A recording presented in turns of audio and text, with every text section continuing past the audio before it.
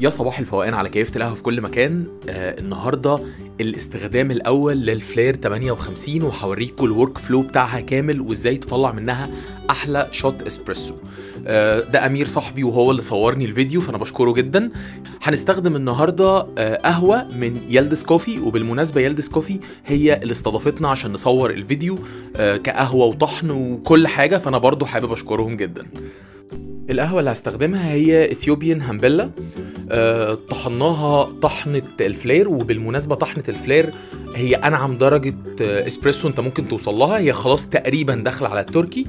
عملنا فك تكتلات وتوزيع وكل حاجة. نيجي بقى للنقطة المهمة تسخين ال brew head لأن ال group head أو ال brew head ده آه، آه، Flair X آه، وال Flair ال 58 ال X ما فيهاش electric heater يقدر يسخنها. فإحنا بنحطها على ال boiler نوصلها لدرجة 100 بعد كده بنحط جواها آه، المية السخنة بعد ما بنركب ال portafilter بشكل كامل وأوتوماتيك هي بتخرج أي هواء زيادة عشان الضغط يبقى مظبوط 100% وبتبدأ تضغط.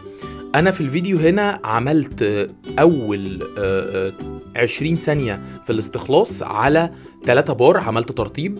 بعد كده طلعت ل 6 بار وكملت باقي الاستخلاص كله على 9 بار. آه، أنا عملت استخلاص طويل لأن ده محصول إثيوبي فأنا عايز يطلع منه طعم حلو و notes واضحة آه، ويبقى ال- آه، الإسبريسو غني مش مجرد acidity عالية ودي من حلاوة ال Flair إنك تقدر تتحكم في كل عوامل الإستخلاص مية وضغط ووقت ودرجة حرارة وكل حاجة.